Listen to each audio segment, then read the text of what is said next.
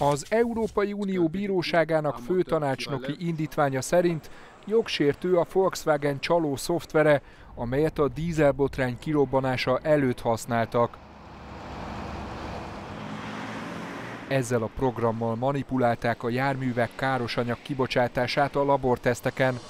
Később kiderült, hogy az autók a valóságban jóval többet szennyeztek, mint az uniós határérték. A Volkswagen később elismerte a csalást, és az Egyesült Államokban kártérítést is fizetett. A mostani főtanácsnoki indítvány még nem az ítélet, de általában megegyezik azzal. A vélemény szerint nem jogos az az érvelés, amely szerint a szoftverrel az autók motorját védték.